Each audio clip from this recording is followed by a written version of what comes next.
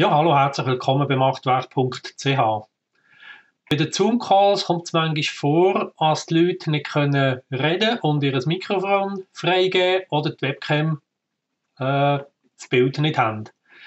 Das wird bei Zoom hier unten links geregelt.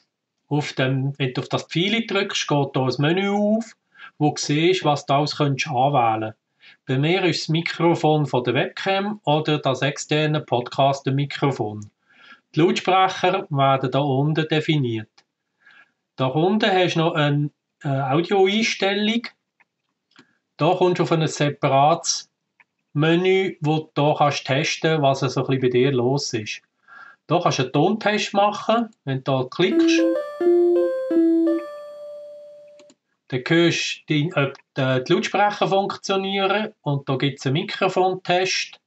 1, 2, 3, 1, 2, 3. 1, 2, 3, 1, 2, 3. Und wenn du beides hörst, dann sollte eigentlich nichts schief gehen und dann solltest du an dem Call mitmachen. Da unten, das Höckeli ist noch relativ wichtig, als das auf automatisch ist. Meistens ist zwar automatisch automatisch falsch, wobei da nützt es einem schon noch ein bisschen, weil wenn du ein lautes Geräusch hast, regelt der sonst zurück oder es überschlägt es nicht und so regelt der einfach den Ton so ein bisschen, als du immer die beste Lautstärke hast. Also, dann können wir da wieder zutun.